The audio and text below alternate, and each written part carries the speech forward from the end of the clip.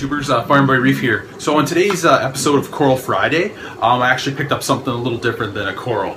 Um, I actually picked up a live specimen. Um, what I picked up today was actually, it's a, a, coco worm. I don't know if you guys have ever seen one.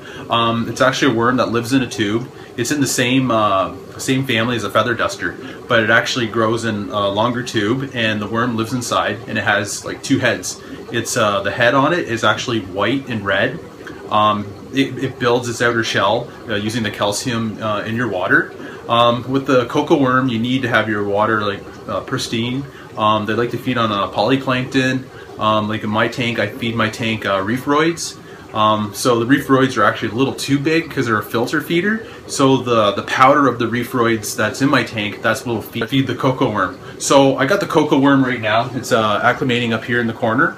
Um, I'm going to take him out. I'm going to try to get it a close up to show you what he looks like and I'm gonna show you where I'm gonna place them today in the tank, um, the location and why. Because like the coco worm, it doesn't like a lot of flow. So you want to put it in an area where there's not much flow. It doesn't really, they don't really care about the light. And you want to make sure in your reef tank, you want to keep your water clean and you want to make sure there's uh, lots of uh, calcium for the coco worm to build its shell. Because um, they can build their uh, outer shell um, maybe about two inches a month about. So the worm actually grows pretty fast. Um, the care level on these, um, you want to make sure you're an experienced reefer because they're they are they are hard to keep alive sometimes because of the their feeding habits and you want to make sure you keep your calcium and you want to keep your water really pristine. So let's go ahead. We're going to get the, uh, the coco worm out of the bag here. It's been acclimating for a while now. Um, adding a little bit of water at a time, getting the temperatures all right, making sure all your salinity is in check.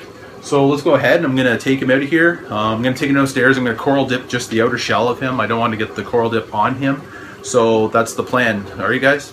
All right, guys, so I got the coco worm here. I'm gonna show you guys he's in the bag. Um, just got him out of the tank, so I'll try to get you guys up and close to see what he looks like. So this is his outer shell. Um, he's quite long. If he was stretched out, he's probably almost nine inches. I don't know if you guys can see him there. You can see see the white this is the new growth that I got right at the local fish store. He's been there about, he said about uh, a couple weeks. So that the new that new white part is where uh, the new growth on him. So he's really doing really well. So I'm just going to take him downstairs. What I'm going to do is I'm just going to clean up his outer his outer shell here with a little bit of revive, make sure I got no pests on him, but I'm not going to get it on the worm himself. Uh, so I'm just gonna take him down to the lab, guys, and then I'm gonna bring him back up, and then we're gonna we're gonna place him in the tank. I'm thinking about putting him in the substrate. All right, guys. So I got the coco worm. I got him all placed in the tank. Um, so where I placed him today was actually on the right side of my tank. I put him in the substrate. I pushed him down in the sand, covered him up up against a rock for a little bit of stability. Um, and it's actually in a nice uh, like a low flow area, a little bit of a tide that goes through there, so he's not being pounded. Um, the other thing is too with the coco worm, you want to make sure you have your calcium levels in check because they use up a lot of calcium to grow their new shell. Like I showed you, you saw the new white. That was only like in two weeks, so that's doing really well. And you want to make sure to have like a polyplankton because uh, they're a filter feeder. And plus, this is what I use. I use uh, reefroids. This is what I feed my tank. Reefroids. The the corals love this stuff. As soon as you, they get it on their polyp serve, they just they just grab that. So I'm to spot feed him for a while, but it's actually if you look inside, you see here, like that's very, very fine powder. Very, very fine powder. So he'll actually eat the powder of the powder. That's the really small stuff. So you want to make sure he gets uh, fed all the time. I usually I spot feed my coral, so I'll make sure he gets some of that, but just free floating because he's a he's a filter feeder. So I'm gonna see if he's uh, actually emerged out of his uh, shell now, so I can show you guys up and close uh, what he looks like. Alright guys, so the coco worm, he finally came out of his shell. Um, so this is him up close and personal.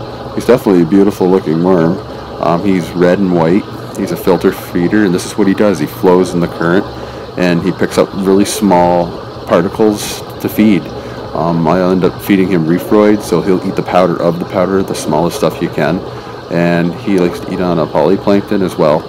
Um, but I'm more just feeding him uh, reefroids to start off with. I'll spot feed him and uh, keep him going on in the tank. I'm definitely happy I got him. He's a beautiful addition to the to my tank. Um, I might pick up one more um, and add him in a different area.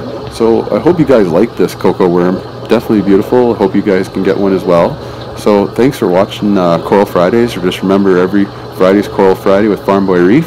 So I hope you liked this episode. So please subscribe and uh, hit the like button and we'll move on to episode 8 next week and see what kind of treasure I can find. Alright, guys, thanks for watching. Bye.